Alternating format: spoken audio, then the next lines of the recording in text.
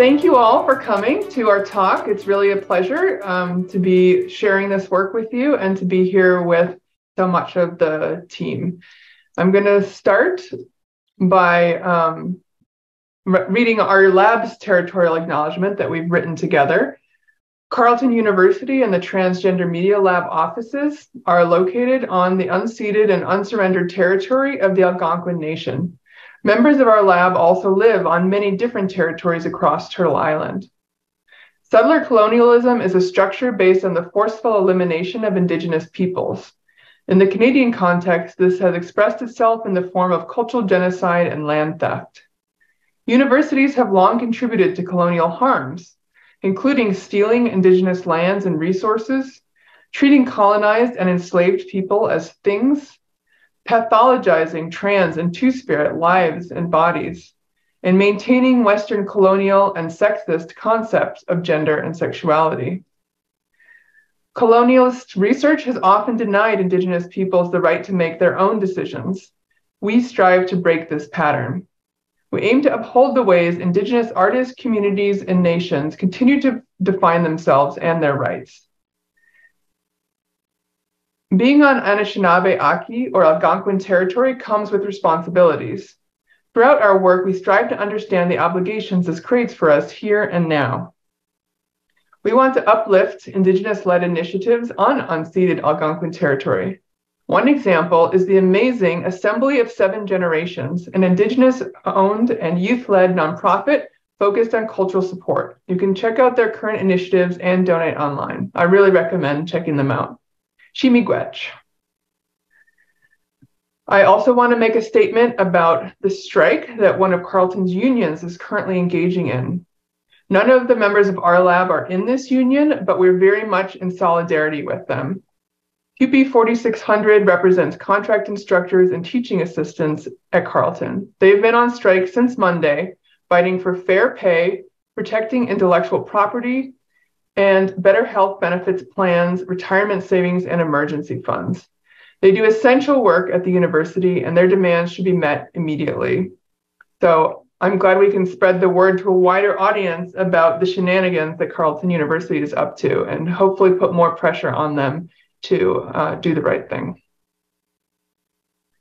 All right, so what is the Transgender Media Portal and why is it? So I like to start with this slide with four different movie posters. All of these movies um, include trans characters, sometimes as main characters and sometimes as um, important supporting characters. The first two films, uh, I asked people like, who has seen or heard of these films? Usually most people nod and say yes. You know, they if they haven't seen it, they've at least heard of it. But the second two films, when I ask who has seen or even heard of the films, it's a lot fewer. The numbers are a lot fewer. And the big difference between the two sets of films is the first two are created by all cisgender teams about trans people, and the second two are created by trans teams about trans people. And they have much lower budgets, much smaller marketing campaigns, smaller distribution campaigns. They're not available on Netflix. So um, sometimes people think like, oh, the problem is trans people just haven't had a chance to make movies. Like, you know, they need to have a chance to make movies. And it's true that more and more people should have a chance. But the problem is not that trans people have not made movies. They've actually made thousands of movies for many decades. The problem is it's hard to find these movies. And even if you know the name of it, it's hard to figure out like how you can see it or how you can program it at your school. So that's where the Transgender Media Portal comes along. We have two main goals with the project. The first goal is to make trans made films more available to educators, festival programmers, trans filmmakers, and trans organizers. The second goal is to enable new kinds of research questions about trans and two spirit filmmaking in Canada and the United States. Questions like what kinds of aesthetic and generic and narrative strategies have trans and two spirit filmmakers used? How has trans-made cinema changed over time? Are there geographic trends in trans and two-spirit filmmaking? So you can go check out our website right now, and it explains a lot about the project. It has a lot of important resources. But what I'm showing you here is a preview, a mock-up of the website we're currently in the midst of building. Uh, you're going to hear more about it from some of our presenters, but I want to point out a few key things. Um, so this hero image, we we take screenshots from uh, films made by BIPOC trans filmmakers the one you see here is by uh, the great film Lingua Franca by Isabel Sandoval. Um, if you look at the different boxes, uh, this enables you to browse filmmakers and films. Uh, we want to highlight multiply marginalized filmmakers. And we also wanted to make this really intuitive and easy to use for people who are used to like browsing on Netflix. I also want to show the support trans artist button at the top right, uh, this is a way to for any user or browser to materially support trans filmmakers by donating money to their um, Patreon or to their GoFundMe. Um, also, at the very bottom, you can see our um, very short version of the of the um, the territorial acknowledgement, and you'll hear more about that too. So, if you actually do a search, you'll get a page something like this. Um, these orange and white buttons at the top will show you the different sorts of things that we're collecting information about. If you look at the side, you see all the different ways that you can filter it. And this is one of, I think, our key interventions to existing tools and lists is that we're really thinking a lot about how to make things really findable to people by the, the sorts of questions they might have or the interests they might have. And so you can see um, right now we're looking at MediaWorks and you can sort it by genre and keyword, um, different release years, durations, and I'm going to go down. You can sort to find works made by people with different kinds of demographics. And, so, and several of our presenters are going to talk more about that. Uh, you also can exclude content as kind of like a trigger warning at the very bottom if there's uh, types of material that you don't want to watch or that you uh, want to screen things and know that it doesn't have certain kinds of material. Um, this is a preview of what a filmmaker page will look like. Again, you'll hear a little bit more about it soon. And this is a preview of what a film page will look like. All right, I will turn it over to Evie, who is in person in the room. Hello. yes, thank you, Laura. Uh, hello, my name is Evie. I use they, them pronouns. Uh, I'm a member of the Community Accountability Research and Data Wrangling team at the Transgender Media Lab. Uh, I'm a white settler and I have light skin, I have short dark hair, and I'm wearing a forest green uh, sweater with um, thin, uh, light, uh, thin blue stripes. Um, so I also live, I'm even though I work uh, with the Transgender Media Lab, I live in Saskatchewan in Treaty 4, which is uh, the territories of the Anishinaabeg, Dakota, Lakota, Nakota, and the Nehiyawak, and the homeland of the Métis Nation. So I joined the Transgender Media Lab in fall 2020, and during that year, we were preparing for a larger team. We went from a team of five to 12 people in 2021. And as we were preparing for this larger team, we began thinking about how we could create an environment in which we would all be inspired to work together to push back against the power structures of the lab. Next slide, please. So to do this, we had to face the limitations of the lab head on and acknowledge that the Transgender Media Lab is federally funded and operates within a colonial cis heteropatriarchal institution. And then we began to imagine what kind of community we wanted to work toward building and what tactics we could adopt to help create that, that community. Next slide. So Laura and I set out to answer the question, how can we run a lab that's fair, transparent, effective, fun, and in line with trans, anti-racist, anti-colonial, feminist, queer, and CRIP values? Next slide, please. Maya Livio and Lori Emerson are two feminist media scholars and two of the organizers of a symposium on what is a feminist lab. And they trace the lineage of labs back to the 16th century, arguing that the contemporary interdisciplinary lab is rooted in a colonial, racist, sexist, and ableist history, and that if we aren't actively working against it, these inherited power dynamics could inform how we structure our lab today and the type of knowledge that we produce in the lab. Through our research, we also found that Martina Angela Caretta of the Hydro Feminist Lab and Carolyn Faria of the Feminist Geography Collective advocate for slow scholarship and an ethics of care within an increasingly neoliberal academy.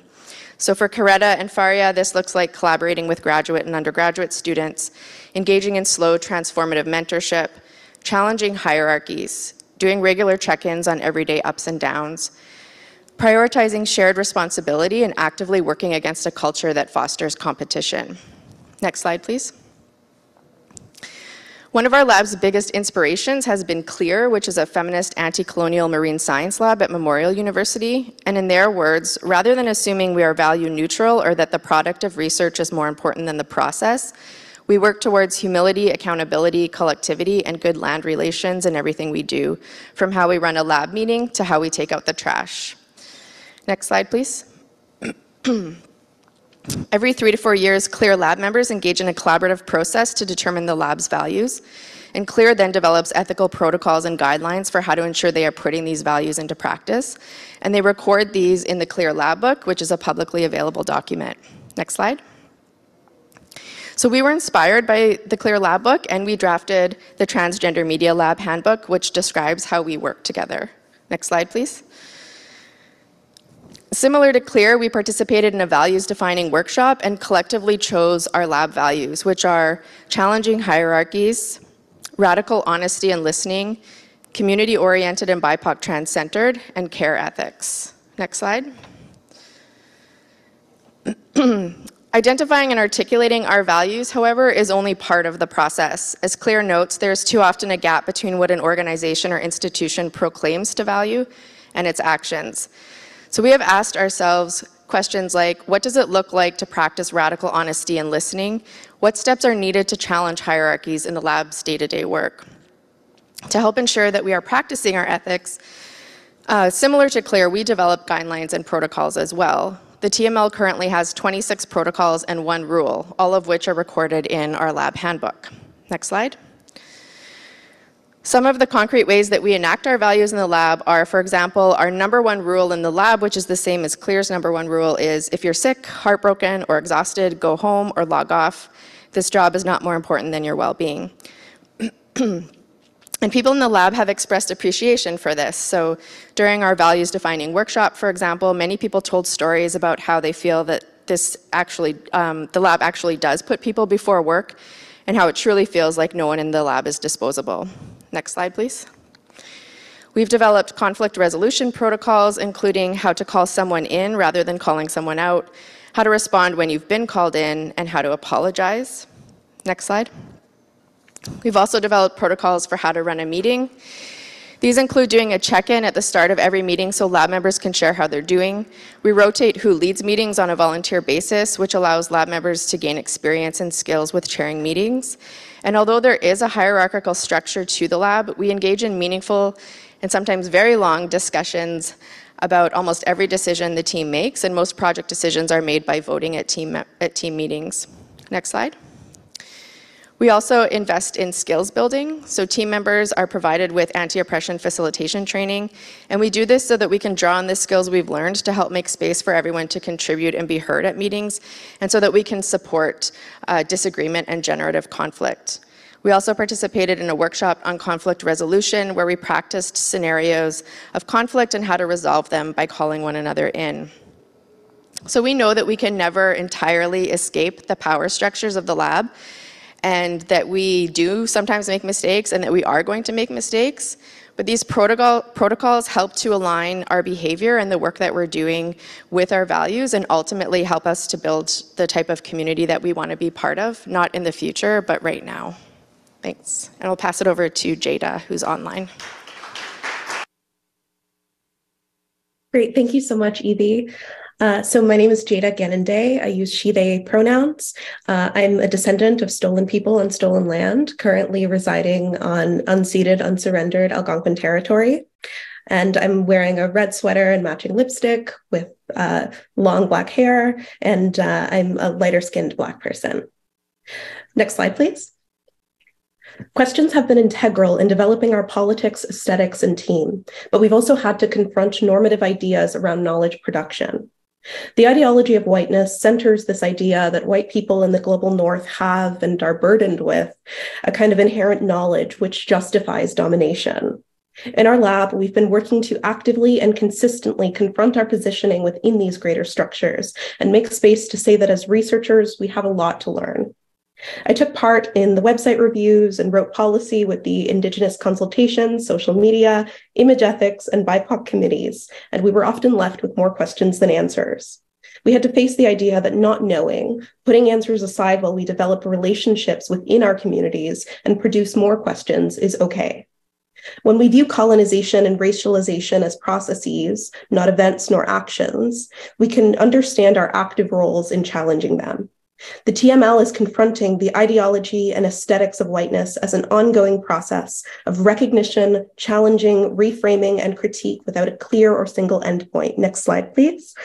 This approach contradicts many of the conventional values of academia. The urge to not just possess, not just produce, but to possess knowledge, to create an other with which we can contrast and constitute ourselves.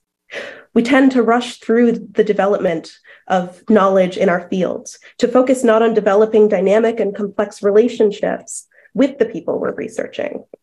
We externalize our tools and knowledge from the people we're studying, assuming that they are not the users and consumers of our research.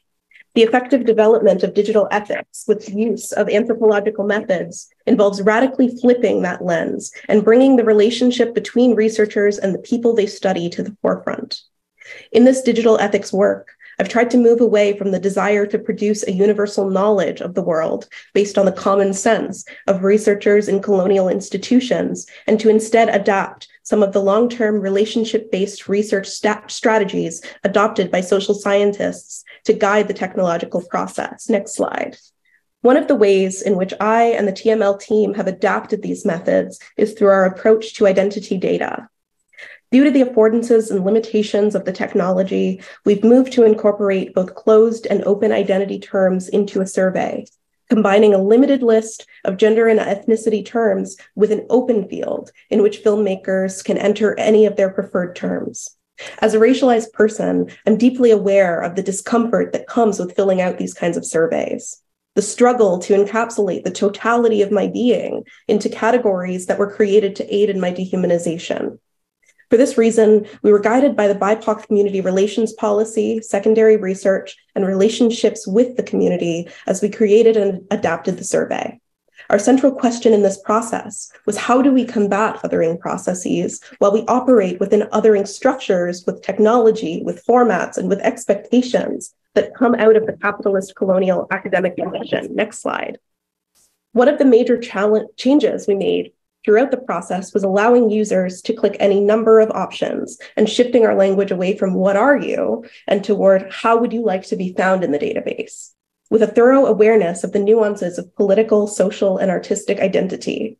This allowed us to both consciously recognize and outwardly state the purpose of this data, not to come to possess every aspect of the artist's being, but to create a space in which artists, sorry, in which searchable categories uh, could highlight the various identities of the artists.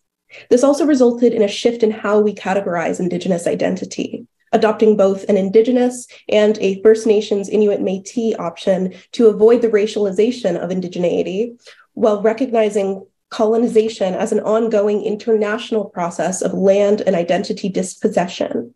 We aim to reflect how Indigenous peoples are identifying themselves and building solidarity. Next slide. We altered our survey again in the fall when we decided to change our ethnicity closed vocabulary term from a single Asian Pacific Islander term to multiple terms which represent the variety of identities across the region. This came up in my conversations with South, Asian artists who spoke to their lack of representation even within BIPOC spaces, and in my research on the Orientalist production of a monolithic East. Next slide.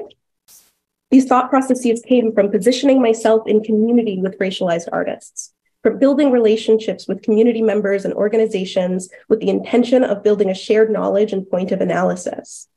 This comes out of an intention of engaging with people rather than aiming to fully apprehend their existence as spectacles or as others. At the same time, this relationship is fundamentally dependent upon a thorough, consistent examination of the academic structures in which we operate.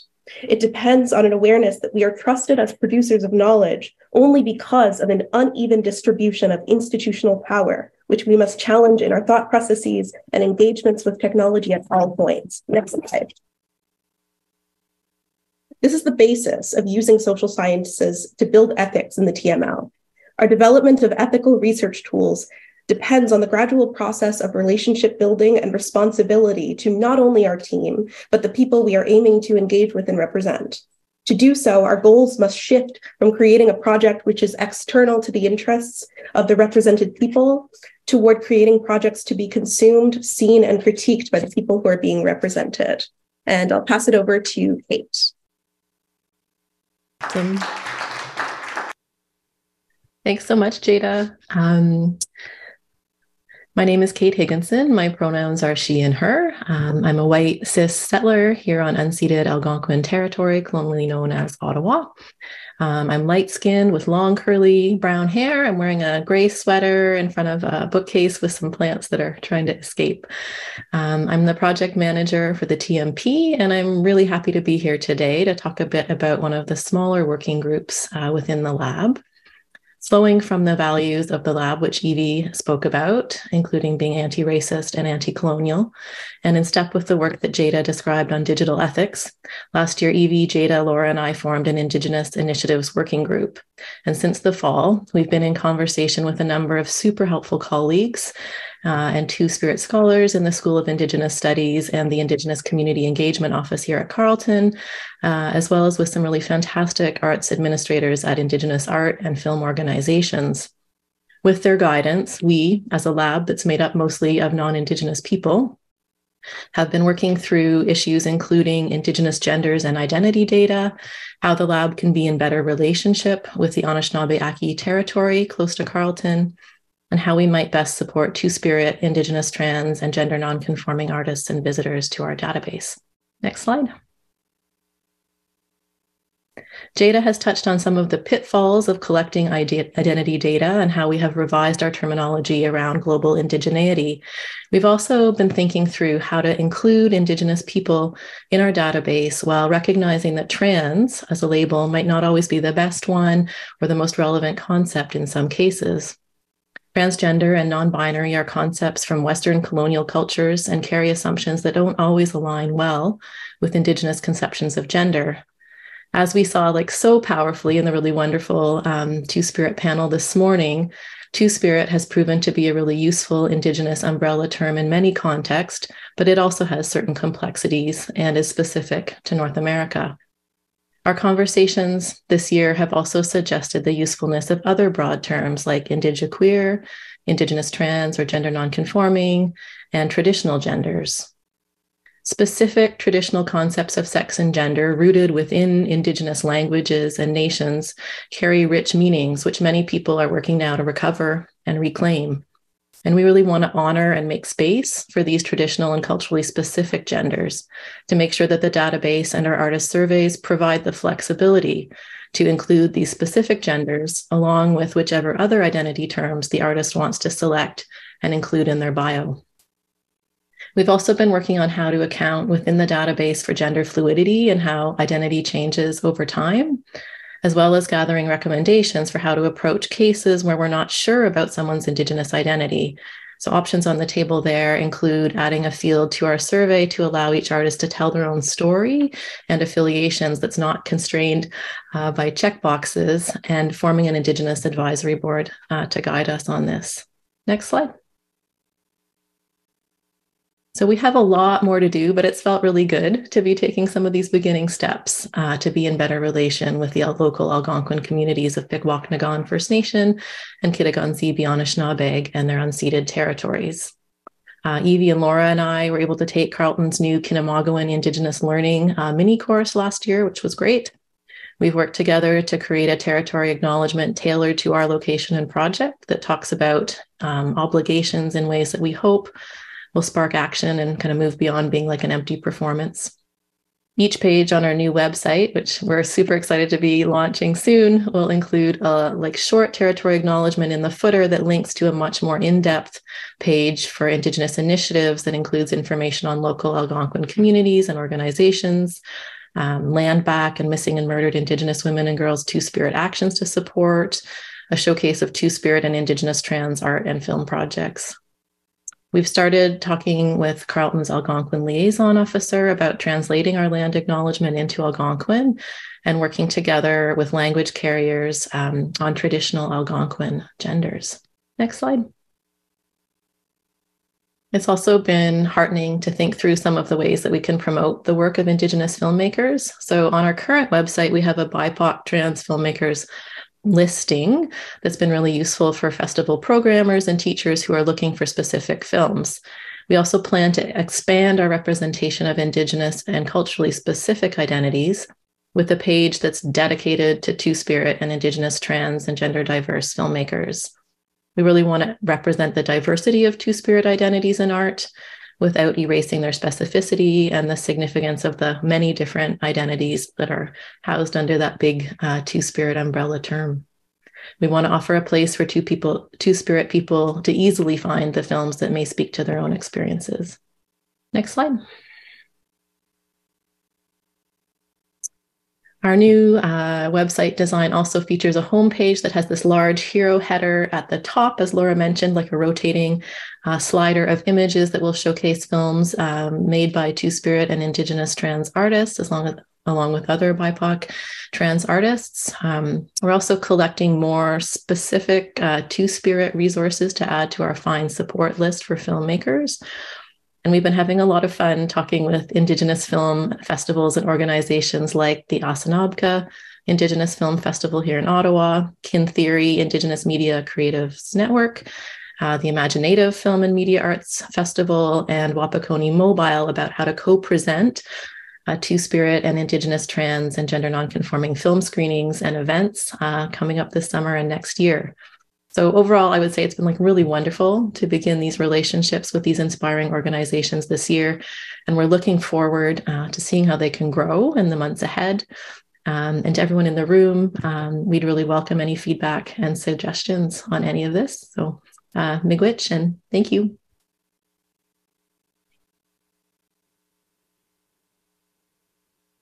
I'll pass it to Kit. Right.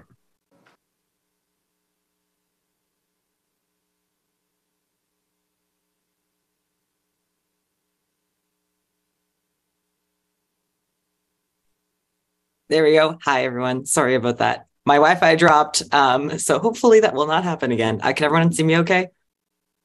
Great. Okay, cool. So, hi, uh, my name is Kit. Uh, pronouns are uh, he and they, and I am located in Tiohtià:ke, which is colonially known as Montreal, uh, which is part of the Kanien'kehá:ka uh, territory. And I'm a light skinned white person uh, with bleach blonde curtain hair, wearing a black zip up hoodie, and I'm surrounded by uh, my books here in my living room. Um, so today I'm going to talk a bit about the process of interfacing identity on the portal. Next slide, please. So I want to start us off with a quote from the excellent anthology on trans visibility called uh, Trapdoor. And it reads, immense transformational and liberatory possibilities arise from what are otherwise sites of oppression or violent extraction, whether the body, labor, land, or spirituality, when individuals have agency over their representation. So that's uh, from Tourmaline, Eric A. Stanley, and Johanna Burton in 2017. And a desire for this transformation and the liberatory uh, possibilities of self representation underlies everything that we do here on the project, from our lab values to our community consultations to our data collection and processing. And this includes the space that I'm addressing here, which is the design of the portal's user interface. So I'm uh, listed as the TMP's user interface and experience designer. And that means that my role is to, is to develop the graphical representations of the films and individuals listed in our database, uh, including all the, the identity data, which we've carefully collected. And while I might be the person who's kind of clicking the mouse here, uh, it's really important for me to underline that this is a really collaborative role. Um, it involves consultations with members from numerous communities, uh, iterative user testing, and of course, lots of discussions uh, between team members, sometimes happening for weeks at a time. Um, so it's a long and always ongoing uh, process involving many, many people. Uh, slide, please. So what does it mean to design an interface? And what even is an interface? Um, Florian Cramer and Matthew Fuller define the interface as the point of juncture between different bodies, hardware, software, users, and what they connect to or are part of. So interfaces describe, they hide, and condition the asymmetry between the elements conjoined. The asymmetry of the powers of these bodies is what draws the elements together. So interfaces structure representation by connecting two entities, and they always involve asymmetrical power relations. And next slide. And this brings us to some questions. So, how do we ensure that the portal's interface is useful for filmmakers, audiences, and researchers while still retaining as much agency as possible in its subject's self representations? Or, in other words, how do we navigate the inherent power asymmetry of the portal's interface? Slide, please. So, one answer to this question involves how we collect the data on people in our database and why.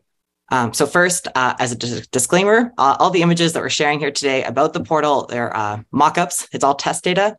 So none of this data is accurate. Um, so if you're looking for Tessie McTesterson's latest feature film, you're going to have some trouble finding it. Um, so as Jada demonstrated in her presentation earlier, uh, people are organized in the portal uh, by open and close identity data. And some of these closed vocabularies are mandatory. Uh, and these are the ternary uh, categories, which means that they have three possible options zero, one, or left blank. And we use these ternary uh, data categories to divide people in the portal into these major overlapping groups as trans plus, BIPOC, and or disabled.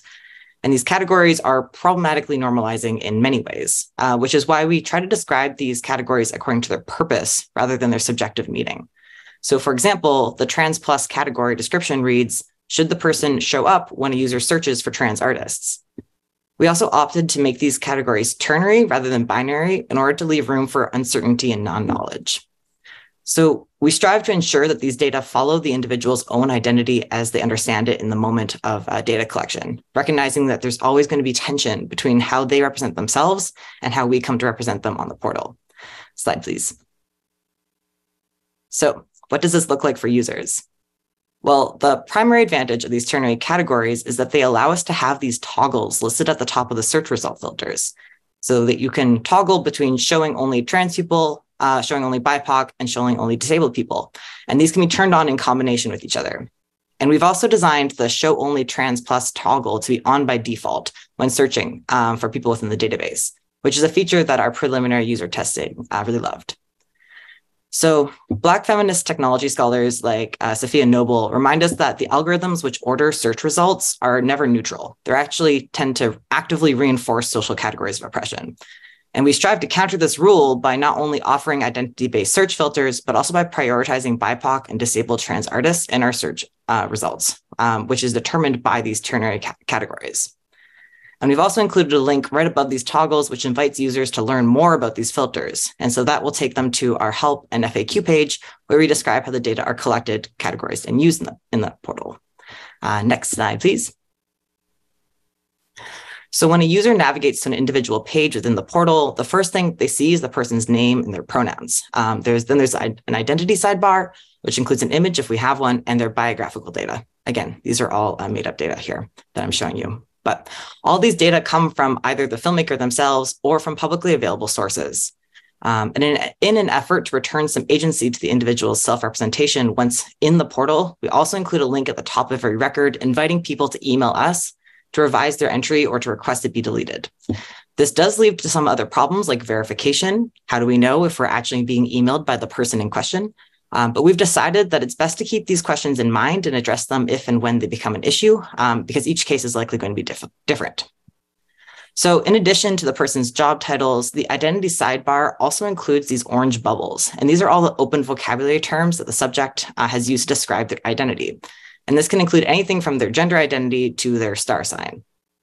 And you might also notice that the closed ternary categories of trans plus, BIPOC, and disabled are missing from these bubbles. And that's because these terms, while really useful for sorting profiles within the portal, are ultimately overgeneralizing and they tend to misrepresent many, if not most, of the people listed in our database. Uh, of course, if they do use these terms to describe themselves, they'll be listed in the open vocabularies and they'll show up in the bubbles. Next slide, please. So challenging the problematic opacity of search uh, algorithms also means that we've decided it's important to make the data which inform the search ordering transparent. So this led us to develop the metadata section on each person's page. And this box is closed by default. So these terms are not as easily visible as the rest of the person's page. When they're opened, users are shown a blurb at the top, which describes how these categories are used for search and that they're not necessarily the words that the individual um, uses for themselves. And again, another link to our help page and FAQ. So we then list the ternary vocabulary terms which shape how this user is sorted within the portal, and we actively choose to use language here, which doesn't imply that these terms define the individual's identity. Instead, we focus again on how these terms are used within the portal itself. Next slide, please. So I want to end my contribution here today with a short quote uh, from Sasha uh, Costanza-Chock, whose book Design, uh, Design Justice really inspires me. And they say that design justice rethinks design processes, centers people who are normally marginalized by design, and uses collaborative creative processes to address the deepest challenges our communities face. So while interfaces involve power asymmetries by definition, we strive to embody the principles of design justice by being intentional with the data that we collect and designing features which can help support rather than further marginalize the people listed in the portal and its wide variety of users. And as Costanza Chock uh, explains, this process is always ongoing and collaborative. There's no easy answers here, uh, but it's absolutely necessary in our hope to open up the transformational and liberatory possibilities of trans self-representation. Thank you. Great, thank you. Thanks, Kit. Uh, I'm Constance Crompton. I use she, her pronouns, and I'm calling in from unceded Algonquin territory. Uh, I'm a white cisgendered woman uh, with uh, pale skin, and uh, I'm uh, wearing a black t shirt and a gray blazer. Um, so I'm, I'm, here to, to launch the section on our technical approaches. That you'll hear quite a bit about the architecture um, under the hood of the new site. The original prototype of the site was built in Drupal.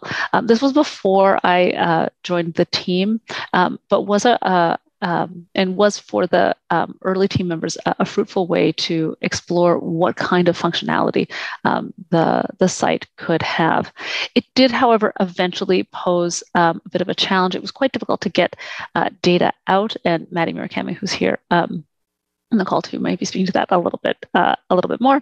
Um, and uh, it it also um, posed uh, problems for forward migration for folks who've worked with Drupal before. You know, it's um, uh, it's quite a large and, and uh, for inputting data, often easy to use package, uh, you know, very sort of configurable, um, but does require uh, forward uh, regular forward migration and maintenance. So, as a team, uh, we considered a lot of different options for the architecture of the second version of the site, um, looking at some um, high powered archival grade repository based systems with front ends for surf- surfacing things, um, all the way down to um, more sort of low tech options. And we've ended up um, adopting, next slide, please, the um, uh, Endings project uh, principles.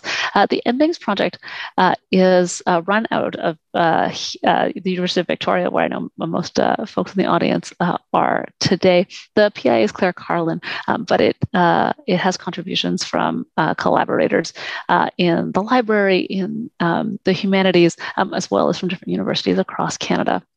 And the Endings project really started with the uh, the idea of being able to come up with uh, methods for starting a project that could uh, that folks could step away from at any time. Uh, this is really aimed at work in the academic context where people are on grant cycles and sort of short funding cycles where people have you know three years or five years of funding um, for a project, but who may have to step back from it at any time. That said, it does have broad applicability. There are folks working in the arts or in community groups who are often in uh, and non-commercial spaces who are often in um, similar um, similar positions. Uh, and uh, there are a few, there are you know several sort of principles that underpin a project endings project, um, but they're all aimed at at uh, the developing the longevity um, of the project. The one that is particularly uh, key here is this one at the bottom that there are no um, external dependencies, or if they are, the uh, the site can continue on um, even if those sort of parts break. And of course, we've all used websites that are like clearly broken. Uh, you know, sometimes if it's, it's just images that are missing and like that's kind of okay to use, but um, sometimes there's like large chunks or, or sort of things breaking down. Uh, and the idea is that you know, by adopting the project endings principles, you can end up with a website that can live on the web without a huge amount of um, maintenance forward uh, and forward migration. Next slide, please. Uh, the key uh, uh, technologically uh, to some of that um, uh, designing for longevity is not being database backed, as databases often uh, require um, uh, lots of forward migration uh, in order to uh, keep up to date, to be patched, to like not sort of be um, hackable, um, as well as um, using uh, um, design principles uh, that uh, that work well with low bandwidth um, and uh, that are easy to archive for posterity.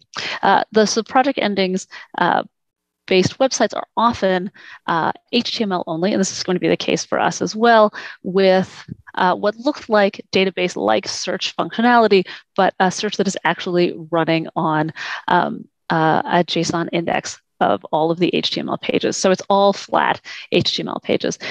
This is useful. It makes them very easy to load, makes them very easy to archive. They are text, text, text. Um, they don't require any sort of drilling down into a database in order to surface the material for the user. This is great for longevity. Um, it also means that this material is easily indexed by search engines, and that cuts both ways, as we'll be discussing a little bit later. Um, uh, today because of course uh, things that are easily indexed means that we can find these films that they can be programmed to that initial vision that we uh, led the presentation with. Um, but it also means that it makes the site easy to find and uh, sometimes there are very good reasons to um, uh, to not want to be found um, on the web. So we'll be talking a little bit um, about how we're sort of handling um, those tensions. Uh, this is just a quick overview of um, of what our workflow looks like. We've got archival and web research, uh, teams of researchers going through old festival programs and um, uh, populating the spreadsheets that we've looked at uh, so far. Um, and then uh, we have scripts that convert the spreadsheet content into XML, um, and then from there into um, HTML with some CSS, and then it is only HTML and CSS and JSON um, that uh, that end up on the web, which uh, those are like sustainable formats that like if any of those three stop working, it's because there's a global disaster of some sort on the web that it would be sort of outside of the scope um, of our project. I'm going to turn it over uh, there to Mel Racho.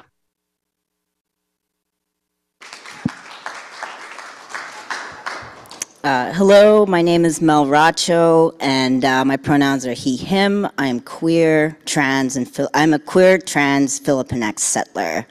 I am brown skinned with longish black and gray hair. I've been on T for 12 years, and I've been trying and failing to grow a mustache for that long. My research interests include how to define and disassemble data colonialism and the systems and infrastructures that uphold its ex extractive practices prior to shifting into academia. I, was, I worked as a senior full stack web engineer for uh, 15 years. I'm completely self taught, and I adhere to a liberatory arts activist approach in building web applications. Next slide.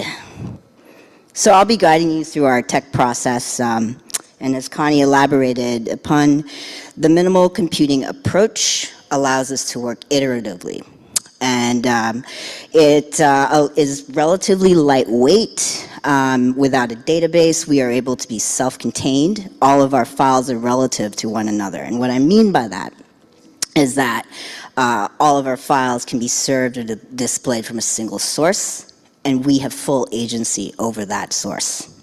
So to do that, we've split the work across a few different code uh, repositories, each with discrete tasks. Um, so using the endings project static search model to build the search mechanism itself. Uh, another uh, repository handles the actual generation of the archived pages. And lastly, a repository that holds the website files. Next slide, please. Okay, so for me, um, in this project and in my own work, I think a lot about data persistence in a changing and uh, horrifyingly oppressive world. Um, so there's a technical definition up there, but I wanted to take a moment and note that for this project, there's the research, and then there's the technical approach.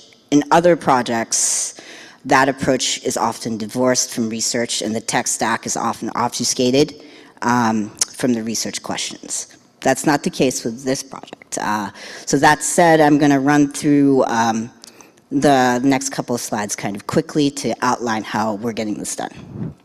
Uh, so next slide, please. Yeah, so here's an abstracted view of our workflow. Um, which as, at, at, its core is uh, uh, the conversion of the research. So the, i.e. the spreadsheets, i.e. the CSVs. What happens is that the CSVs are exported and converted into XML documents. We apply extensible style sheet language translations, um, which then generate the HTML files, and then those files are document, uh, displayed online. Next slide, please. Uh, this is another uh, process slide. Uh, basically, code goes from one thing to the next thing, and it's it's all very boring looking, but it is eventually very exciting. Um, so, next slide, please. And so here, using the Endings project static search build, we start to see the shape of our collection um, of the generated HTML documents into something searchable and able to persist online. Uh, and the next slide, please. So that's the, this is our intended output, uh, what it will look like eventually. Next slide, please. Uh, so all of this to say that the um, whole approach is uh, the research or the coding in both the research-based uh, way of understanding coding and the program programmatic way of understanding code. Um, we try to, which we try to capture in our records. Uh, next slide, please. So ultimately, what we are going to have is um, what the tool will build is a generated set of HTML reliant only on CSS and JavaScript, the foundational uh, blocks of the World Wide Web. At this stage, which is moving out of proof of concept to the actual build, we've uncovered some advantages as well as cha uh, challenges in the process.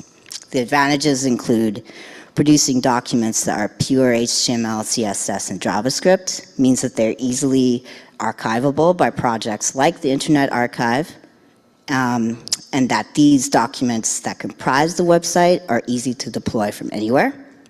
And lastly, it's a low bandwidth site. Uh, so it's fast, there's no database queries, so no backend. The backend is the research. Um, in terms of challenges, we're seeing that the learning curve to get uh, these build processes running are quite high. Uh, not having any external frameworks uh, like Bootstrap means no shortcuts. And lastly, uh, navigating visual expectations versus reality is important when you're coding like it's 1999. We, uh, we've had to accept and roll out a phased approach to this tool. So that's, that's pretty much where we're at. Uh, next slide, please and very exciting. Uh, there's the, there we're, we're, we're, hosting a call for applications for a CSS person that will work uh, with us. Um, if you'd like to know more about the position, feel free to approach me or uh, check out uh, check out the, the link down there, which is carleton.ca slash transmedia lab for more info. And uh, yeah, uh, I'll pass it on to Orvis.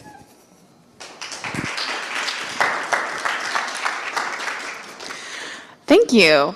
I'm Orvis Starkweather, and I use they, them pronouns. I'm a white person with settler responsibilities. I'm based here on the Lekwungen territories of the Esquimalt, Songhees, and WSÁNEĆ nations. I wear glasses, I have light skin, I've got an undercut, and I'm wearing a sweater and tie combination. Slide, please. I joined the project last uh, this year to help with data analytics.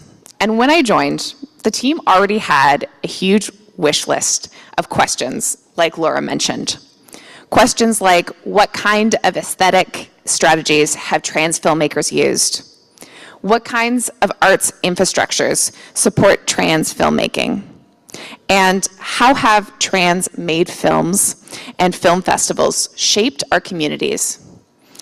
But what quickly became clear is that we actually needed to start by turning the gaze on ourselves. Slide, please. So we started with, How many records are we creating each month? And do we have enough data that the tool will work? Um, we made this analysis a priority because of our commitment to living our values. Um, do, do, do, uh, this is about our team's capacity. When I started university, I was promised accommodations for my learning disabilities. And my needs were met maybe about 30% of the time. And for years, I struggled to pass my courses. Eventually, I learned that I could keep up with everyone by just doubling down on the amount of work that I was doing. By the time I reached grad school, I was absolutely burnt out. By the um, uh, since then, my commitment is to come up with realistic workloads. This goes back to the lab's number one, or the lab's one rule of logging off when you're exhausted.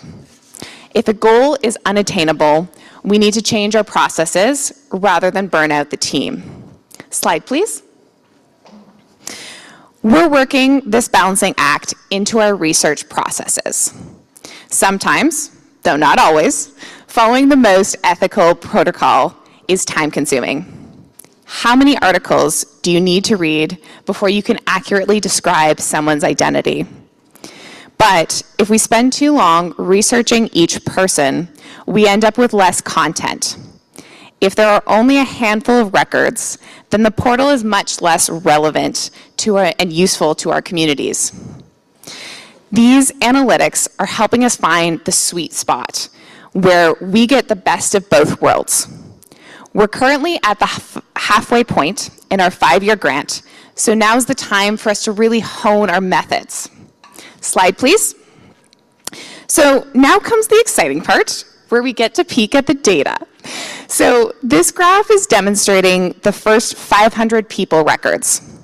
It's a bar chart that illustrates which fields are heavily used and which are almost empty.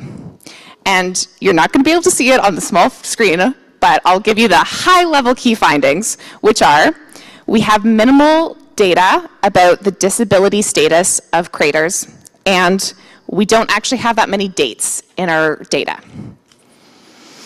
Slide, please. Record gaps are a great way to spotlight where we need to adapt. For example, let's look at the disability status drop-down menu. Our team only identified 1.2% of filmmakers as disabled. We're reflecting on how we can address this gap. Some ideas include we could conduct targeted research into disabled trans creators. Or we could take a hard look at our research processes. It's possible our team is missing coded disability keywords, or it could be that there's a flaw with how we're, how we're prioritizing which filmmakers to research. Slide seven, please. Finally, let's talk about filmmaker dates. We know that our users are expecting to be able to search by content creators' life dates.